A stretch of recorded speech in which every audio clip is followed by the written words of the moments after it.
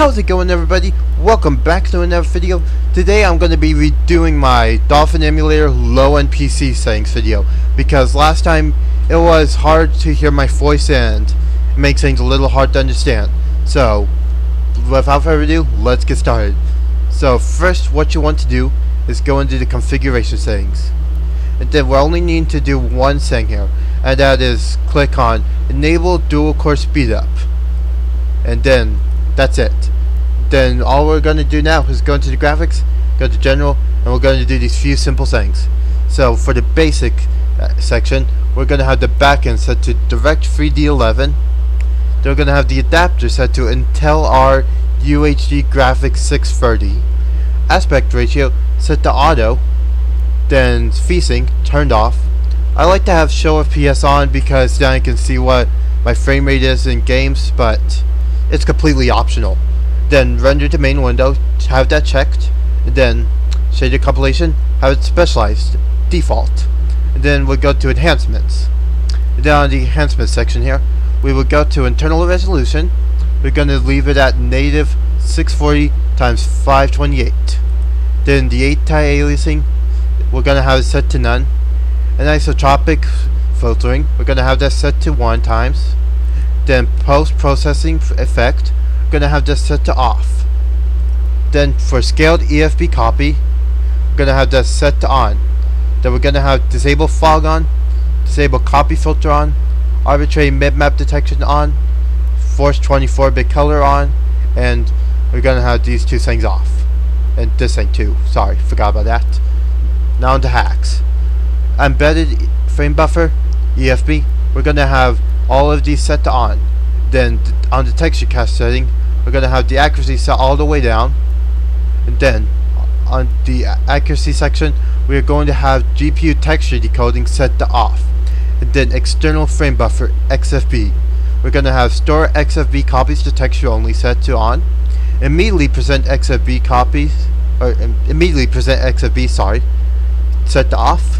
Then skip presenting duplicate frames set to on. Then on the other section, we're just going to have fast depth calculation off, vertex rounding off, disable bounding box on, and save texture cache to state on. Then for the advanced.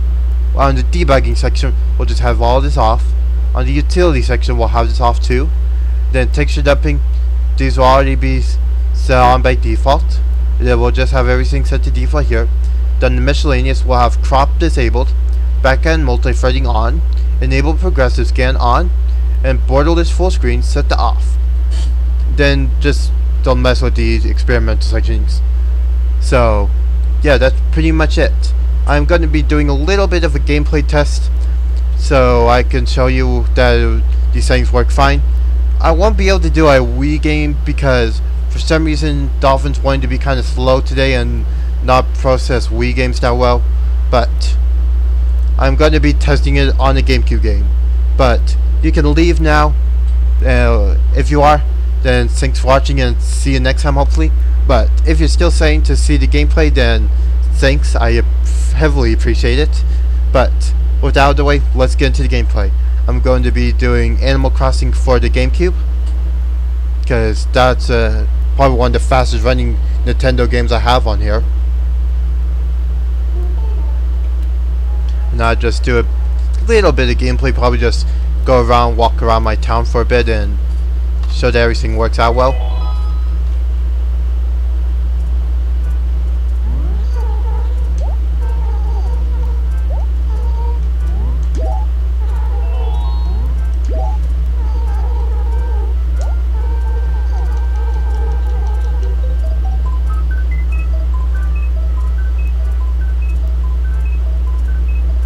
And as you can see the FPS is typically going to 60 it was dropped down all the way to 43 just a second ago but that was only because it was saving and stuff. So yeah. As you can see everything runs smoothly. This is on this is actually better frame rate than on the original console.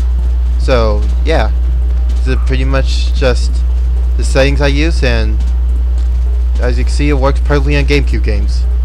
It works really well on Wii games too, but for some reason Dolphins not wanting to work well for me today, so yeah. So I'm just gonna quickly save and then end off the video.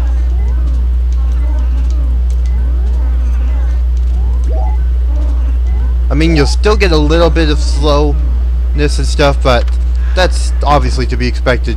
It's not like it can make your PC run perfectly with these games. But, yeah. Other than that, that's my settings. Thanks for watching, and I will see you in the next one, hopefully. Peace out.